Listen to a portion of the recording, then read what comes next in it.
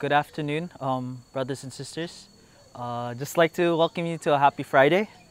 But before I discuss what I want to discuss with you, um, let's pray. Heavenly Father, Lord, again, we just like to thank you so much for another day of life you've given each and every one of us today.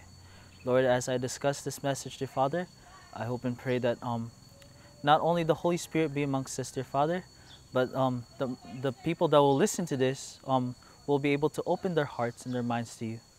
Lord, I ask and pray that as we discuss this lesson, that it will be um, a reminder to each and every one of us of what we need to do. We thank you and we love you. And it through your Son, Christ Jesus, we pray. Amen. If you have your Bibles with me, um, if you can turn with me to Matthew 25. Uh, this is a story about um, the 10 virgins. So I'll just be um, I'll just be summarizing what the story is about. So it says here, the kingdom of heaven is like what happened one night when 10 girls took their oil lamps and went to a wedding to meet the groom. Five of the girls were foolish and five were wise. The foolish ones took their lamps, but no extra oil. The ones who were wise took along extra oil for their lamps. The groom was late arriving, and the girls became drowsy and fell asleep. Then in the middle of the night, someone shouted, Here's the groom! Come to meet him. When the girls got up and started getting their lamps ready, the foolish ones said to the others, Let us have some of your oil. Our lamps are going out. The girls who were wise, wise enough answered, There's not enough oil for all of us. Go and buy some for yourselves. While the foolish girls were on their way to get some oil, the groom arrived.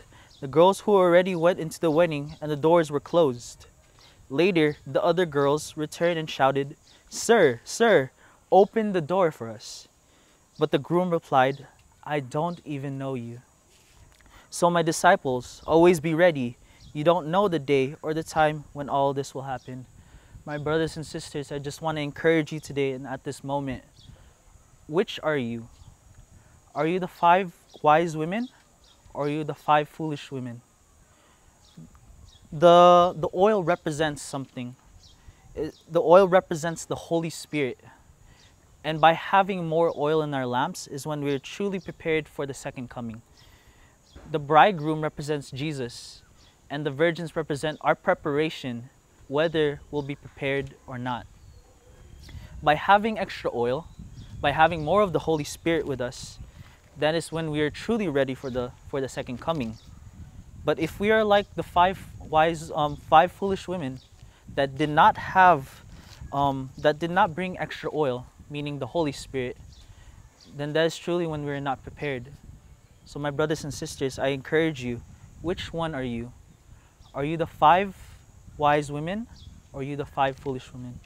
I just want to leave that thought with you today. Thank you so much and happy afternoon.